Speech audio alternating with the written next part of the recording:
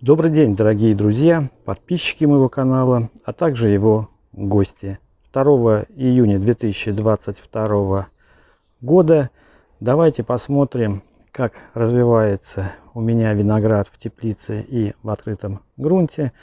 Для новичков покажу, какие операции я делаю э, в это время. Также скажу, что два дня назад я обработал э, свой виноградник, так как стадии развития везде разные, но это была первая моя обработка. Использовал я э, препараты Фуфанон от вредителей, э, Фалькон от Аидиума, также Редамил Голд от Мильдию и Мегафол как восстановитель и как бы э, чтобы помог лучше перенести эти препараты винограду. Вот давайте посмотрим, что я делаю на данный момент. Значит, смотрите, куст э, кишмиш велес. Смотрите, какие большие у него грозди. Что я с ними сделаю?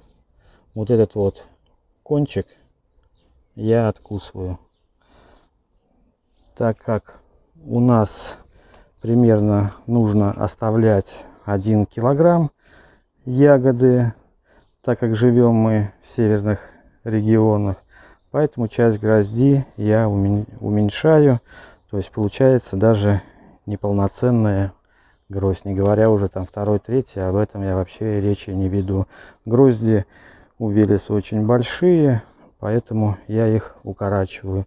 Дальше, проходя по винограднику, обязательно прищипываю усики. Вот видите усик? Я его прищипываю. В начале июня уже у некоторых начинают э, расти пасынки. Тоже за этим нужно следить. Я вот здесь сейчас разносил в две плоскости свои шпалеры, так как не уместилось у меня в одну плоскость. Мучился я, мучился и все-таки решил их добавить еще одну плоскость и немножко развести, потому что загущенность была ужасная. Поэтому дальше мы смотрим на пасынки. Я вам сейчас покажу где-нибудь, где я еще вот, например, смотрите, вот пасынок, вот в пазухе листа образовался вот такой пасынок. Его обычно прищипывают на один или два листика. Я здесь прищипнул на два, но если сильная загущенность, я прищипываю на один листик. Оставляю один листик, остальное убираю. Опять же, не забываем про усики. Усики нам не нужны. Они только забирают на себя питание. Что еще?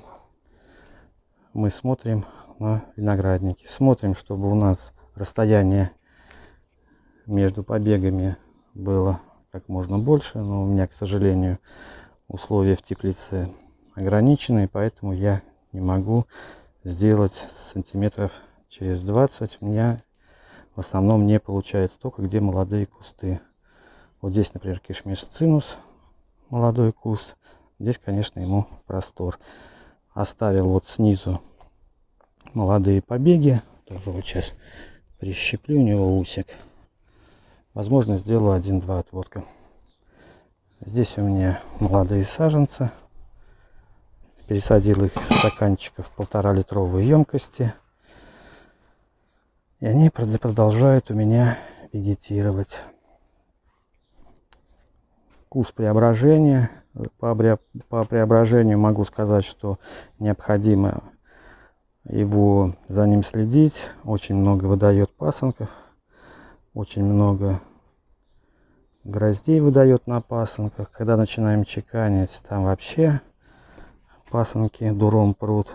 Поэтому за этим тоже надо следить. Не забываем а, подвязывать свой виноград, особенно в открытом грунте, в теплице. Здесь ветра меньше, поэтому не так это критично. Но опять же, вот сегодня подвязывал. Сейчас я вам покажу.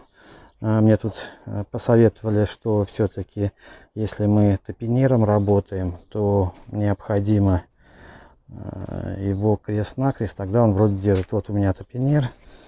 Конечно, им очень быстро работать, но проблема в том, что, видите, когда ветер, вот это начинает качаться.